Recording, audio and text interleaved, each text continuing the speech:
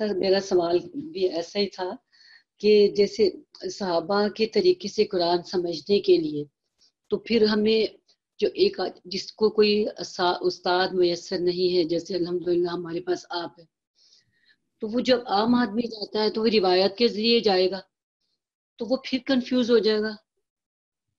सहाबा के कुरान समझने के तरीके तक पहुँचने के लिए तो ये फिर मुश्किल आ जाती है इसमें भी।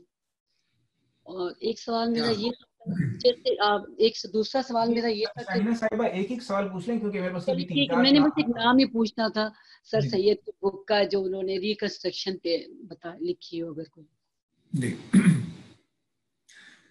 देखिए जो आम आदमी होता है वो एक टाइम तक आम आदमी रहता है। जब हमने शुरू किया पढ़ना तो ऐसे ही था हम आम आदमी थे।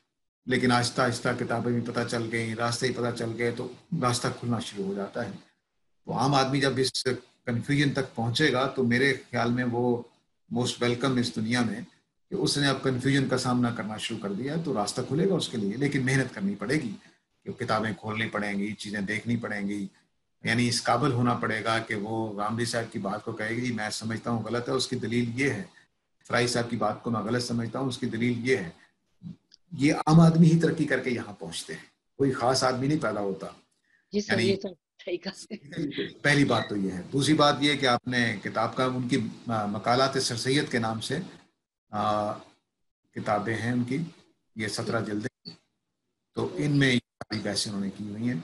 ये आपको एक वेबसाइट है रेखता के नाम से जायद जी ठीक तो उस पर आपको ये मिल जाएँगे इंशाल्लाह।